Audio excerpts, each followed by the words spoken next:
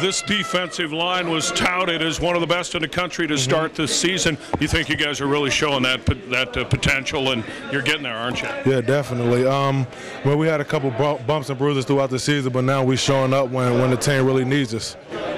What about tonight? You know, Wisconsin had the big touted offensive line. How do you feel you did? Uh, I feel like we did great. We did wonderful. Um, the coaches told us to go in there and, uh, and, and push. Coach Johnson told us to go in there and push the line of scrimmage, and that's exactly what we did. Has it been a, a good transition from from Mike to uh, Larry in terms of your coaches? Granted, very different coaches. right? Yeah, yeah, they uh, two totally different coaches. I mean, but yes, um, uh, not much of a transition, but I mean, because they both demand the best out of you, so it's, it's not really much of a difference. Could you have imagined a, a zero goose egg in this game? Uh, not at all. I, I wasn't planning on that, but hey, it, it's great to get it.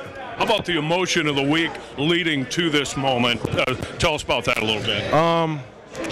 Uh, throughout the week, we um we, we took it very serious. But um in the hotel last night, Coach Meyer, uh, Coach Fickell, Coach Johnson, they all they just kept telling us it's just another game, and it really is. Don't make it bigger than what it is. It's just another game. you know, you were a state champion in high school in basketball. Exactly. How does this feel? Big Ten champion in football. Uh, that was a great feeling because uh, not many people do that, but this right here, this one is very special, man.